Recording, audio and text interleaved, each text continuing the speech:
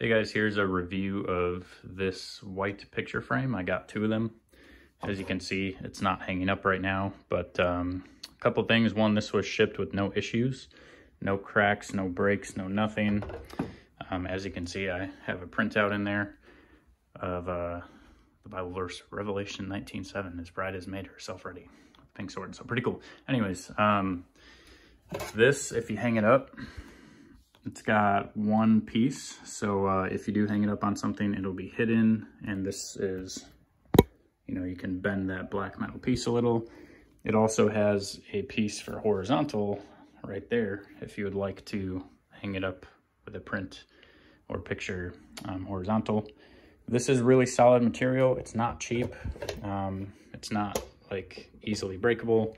Um, it's a thick, solid piece of frame. So I'm really happy with the purchase.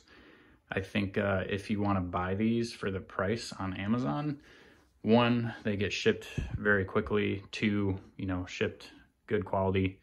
You know, they came with no breaks, like I said. And three, for the price, it's kind of hard to beat with Amazon, as you might know. So um, definitely recommend these. They're clean, pure white, um, no stains, no blemishes.